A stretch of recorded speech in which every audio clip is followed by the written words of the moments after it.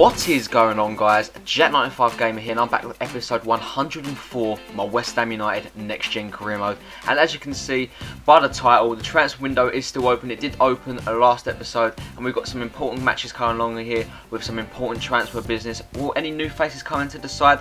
You know Kevin De Bruyne has recently signed a contract committing his future to the club which was massive news for West Ham United meaning we're going to have such a quality centre attacking midfielder within our ranks in the next few years you know, like to come for the next few years, you know, and that's great to see. You know, that, that's stability right there with Oscar Ravel, Angel Correa looks like he could be coming into, and obviously Kevin De Bruyne, the new boy. But as you can see, Connor Wickham gets an opportunity here to strike against Burnley, but unfortunately he cannot do it here on that occasion. But this is a very interesting cup tie between Burnley, and we have got three games this episode too, guys, if I haven't said that already.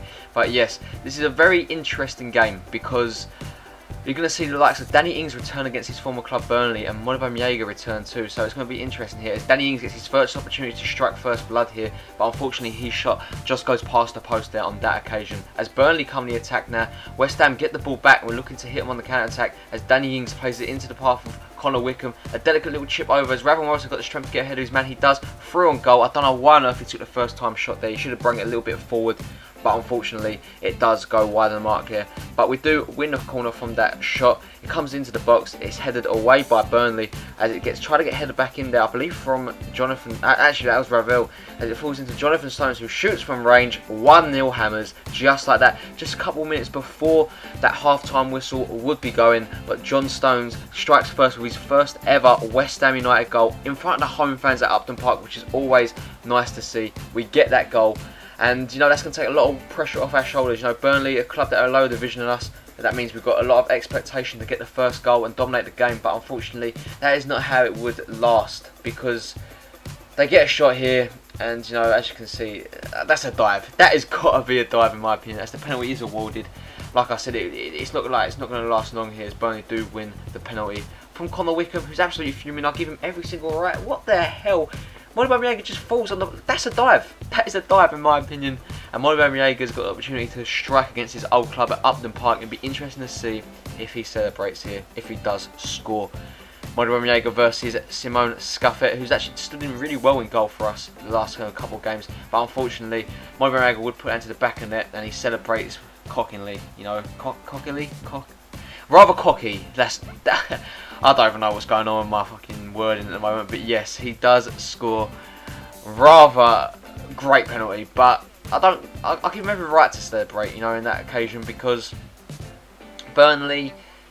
Uh, I, I kind of did show him no respect by just leaving him out of the team and like giving him to Burnley. But he seemed to make a career out of himself there as Danny Ings strikes it 2-1. Sorry, Modibo but your former player strikes and you know great respect there shown by Danny Ings. I'm not going to celebrate and that that's a great little touch there shown by Danny Ings because he's a great player and he's, he's got his opportunity to go forward there which he has. He's took his chance greatly and the Hammers now back ahead 2-1 up. That's good to see. That is very good to see.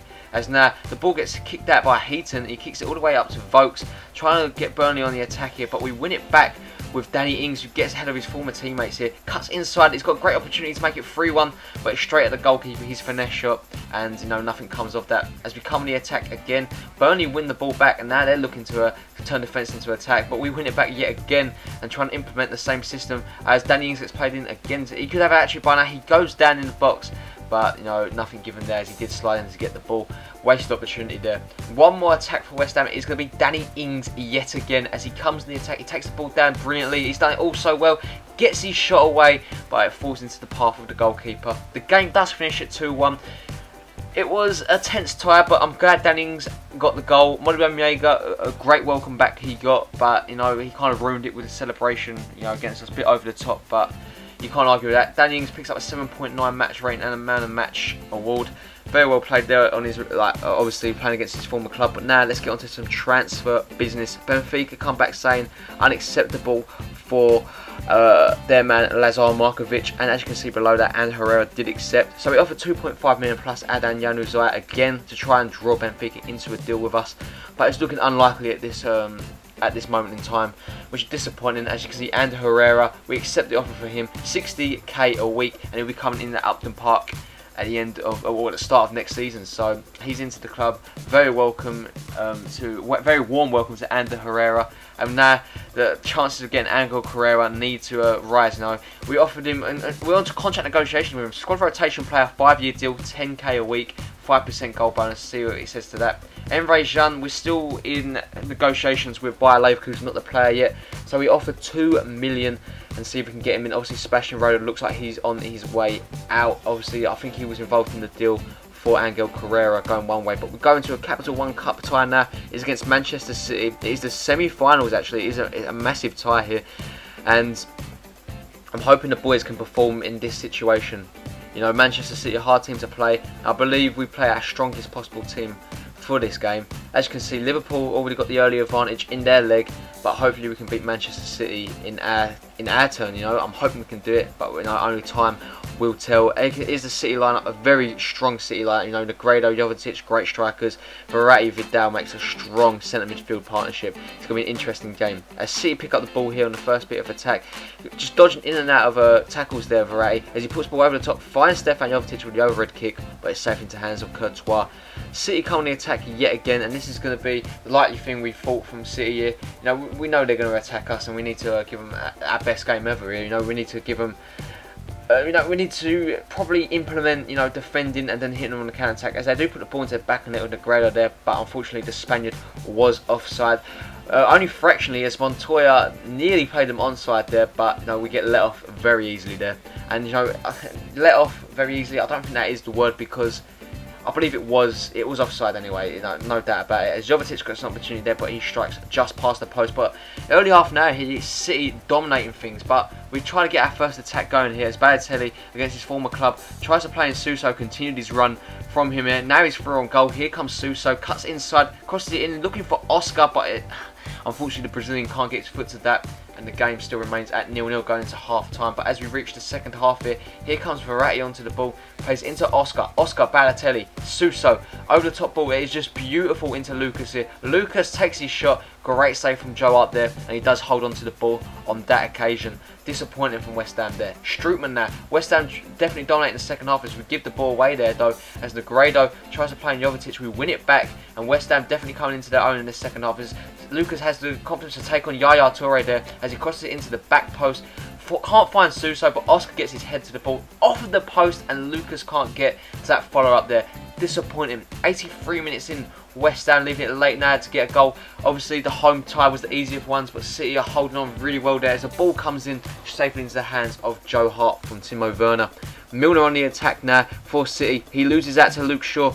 Literally coming up to 90th minute, coming up to the end of the game here. Balotelli gets the opportunity over the top ball into Timo Werner. Come on, Timo. He gets up the ball here. Can we get a goal? Ball in. Malanda. 1-0 the Hammers right at the death here. The Hammers take the lead right at the end. I can't believe it. I was in absolute shock. We've got a late goal against Everton last a few episodes ago, and then got another late goal here against City against them in the semi-final first leg here, and that's sent the absolute the Upton Park the Upton Park faithful into an absolute frenzy. I couldn't believe it. Malanda gave us a shock lead going into the next round, and rightly so, he picks up man of the match award there. 100% passing, 100% shooting, and 100% tackling. Great from our CDM there and we have the advantage going into the Etihad there and it's going to be an interesting tie next episode we will see that though more transfer business now as Courtois uh, gets subject to a bid from Juventus we decide to reject all offers and disallow any future offers from any other club there as you can see, Angel Carrera is now a hammer. He gets played into the team, and that's good to see. Welcome to the club, Angel, and I hope you enjoy it here down at East London because this is a great club to be at and I'm sure you will enjoy every single moment of it. But now we go into our final game of the episode, Cardiff City versus the Hammers. Very interesting game. Rodwell playing Kramer, Januzaj, Morrison, Carrera plays in at centre forward, Danny Ings is dropped and we'll see how the new boy does play in this game. It's going to be an interesting game like I said. I'm very excited to get underway. Let's see how it goes. As you can see there's the BPL table there. Three points clear at the top we need to get a win in this one to keep the pressure on Chelsea. Obviously, we did draw a game, which means that Chelsea were um, obviously enough to close the five point gap to three points. So we need to get a win here. because that would allow Chelsea back into the title race here. As Timo Werner breaks forward here from poor defending from Cardiff. They're caught out, caught out in possession. Here comes Werner, drilling himself into the box, puts it all the way at the back post for Carrera to get his first debut goal, but unfortunately the attack does um, dwindle to nothing there. Uh, there's a great play by Cardiff now. He takes the ball down uh, by Taylor. Taylor plays into Campbell. Fraser Campbell, a great um, layoff ball into Harris. Harris crosses it in, trying to find Campbell. He does actually find the Englishman striker, and he does put it into the back of net to put the Welsh club 1-0 up against West Ham United 21 minutes in. I was in absolute shock. Again, I couldn't believe uh, what happened. We got absolutely broken down, and that's definitely get, got me tapping my head. You know, I couldn't quite see what the hell our defence was doing there. It just fell apart, and we need to definitely become stronger now and show Cardiff that we are the champions and we are going to keep fighting until the last whistle. As Januzaj shows great ability to cut in, beside, in between his two men there, and he actually does find Ravel Morrison with a delicate header into the top corner to make it 1-1. The Hammers back on target, back on terms, which is always good to see. I was very sceptical back going into this game.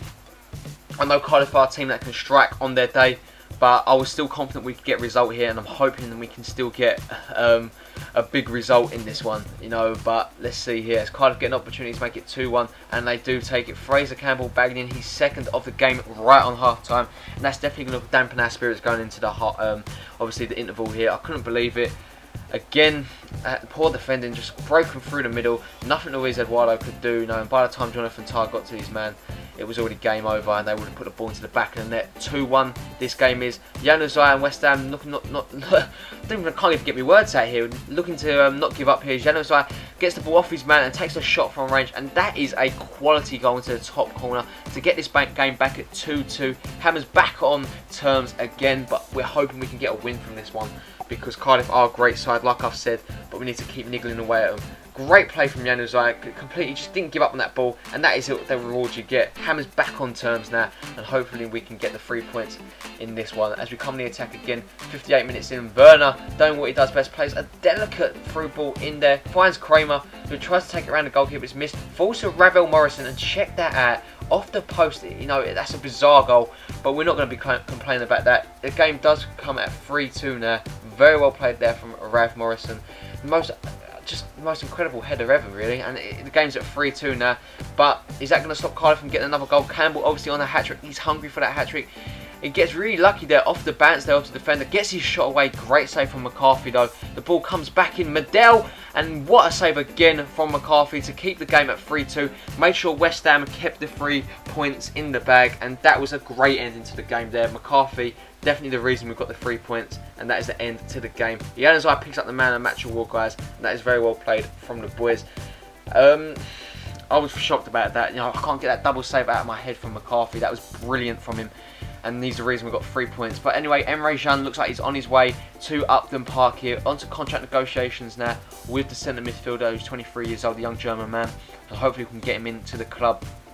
As you can see, he does accept it and he will be playing his football at Upton Park next season. Welcome, welcome, um, welcome Emre Can. We do accept the deal, um, guys. I had to just do the transfer budget though. But anyway, that is going to bring it end to the episode. If you did enjoy this video, guys, make sure you hit that like button. It shows a great indication that you are enjoying the series and you want to see more. And obviously, if you new, are new around here, make, make sure you hit that subscribe button so you never miss a new video that does come out. And obviously, FIFA 15 is only around the corner. And I'm sure you will like to see that journey with me, guys, uh, take its toll. So, no, I can't wait to start that new journey. But anyway, guys, have a really nice day. And I'll catch you in the next episode. Peace!